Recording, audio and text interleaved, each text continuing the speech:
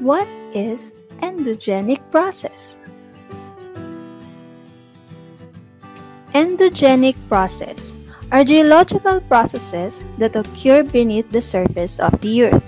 It is associated with energy originating in the interior of the solid earth. The forces within the earth that cause the ground to move are called endogenic forces. Main endogenic process. They take place mainly along the plate boundaries. These are the zones that are not stable. It happens at the locations where two tectonic plates interact.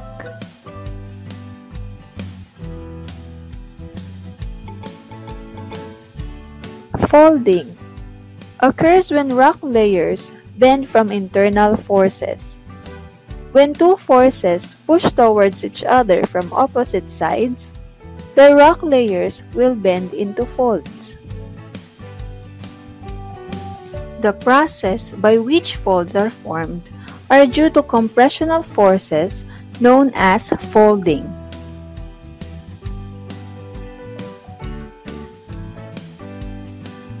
Faulting is the fracturing and displacement of more brittle rock strata along a fault plane either caused by tension or compression. A break in rock along which a vertical or horizontal rock movement has occurred is called fault. Types of faults Normal fault, reverse fault, and strike slip fault.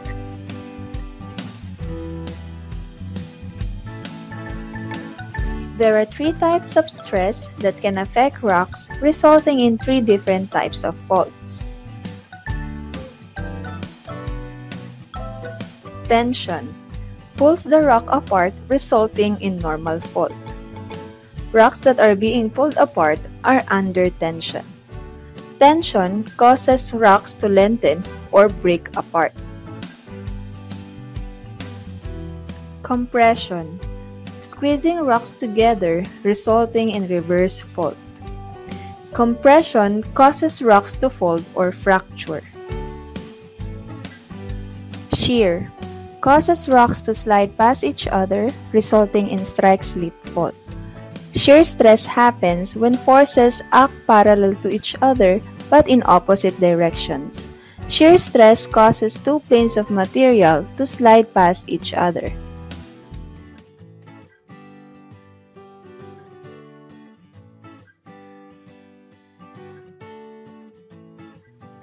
Volcanism or magmatism. It is the eruption of magma onto the surface of the earth. When we say magma, it is a hot molten rock, a mixture of liquid rock minerals and dissolved gases. It is formed by the melting of Earth's mantle.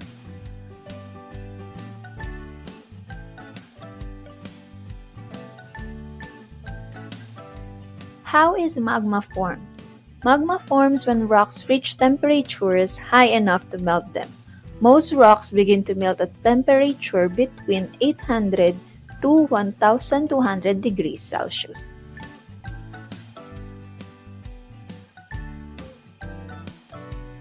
What happens after magma is formed? Magma cools and solidifies below the Earth's surface. This is because of plutonic rocks and volcanic rocks formed when lava cools and solidifies on the Earth's surface. Metamorphism Alteration of the composition or structure of a rock by heat, pressure, or other natural agency. Earthquake A sudden shaking or vibration in the Earth's crust. An earthquake can also be triggered by molten rock moving into the chamber of a volcano before eruption. To summarize our topic, endogenic process are geological process occur beneath the surface of the earth. Main endogenic process are folding and faulting. Other endogenic process are volcanism, metamorphism, and earthquake. Thank you!